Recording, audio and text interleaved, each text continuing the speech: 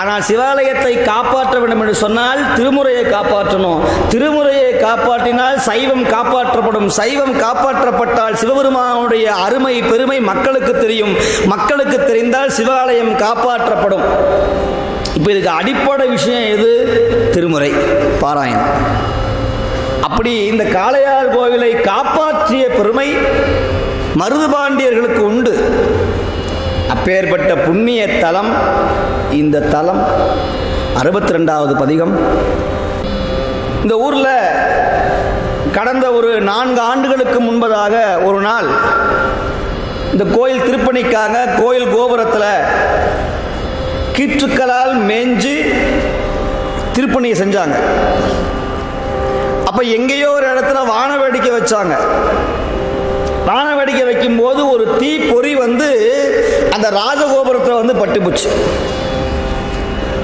தீ ஜுவாலை தக தக தகன்னு வந்துச்சு. அந்த கோபுரமே எரிஞ்சு போச்சு.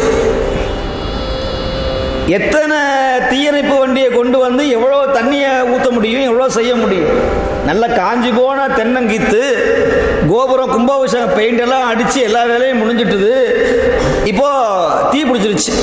அந்த ஊர் மக்கள்லாம் ரொம்ப கண்ணில் அப்பா காளீஸ்வரா காளை காளையப்பா அப்படின்னு பெருமானை நோக்கி வருந்தினார்கள். என்ன ஆச்சரியம் தெரியுமா?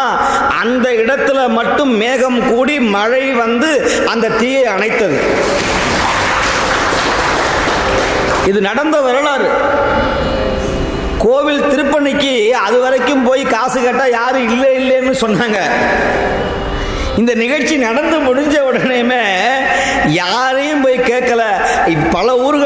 ஊர்களில் இருந்து அவங்கவுங்களா வந்து கும்பாபிஷேகத்துக்கு வேண்டிய பணத்தை கொடுத்து கும்பாபிஷேகம் மிக பிரம்மாண்டமான அளவில் நடந்து முடிஞ்சது.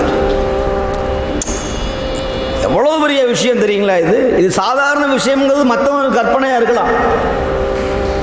ஆனால் சைவ உலகத்தில் சிவபெருமான் இருக்கிறார் ஒரு தீமையிலே ஒரு நன்மை வந்தது.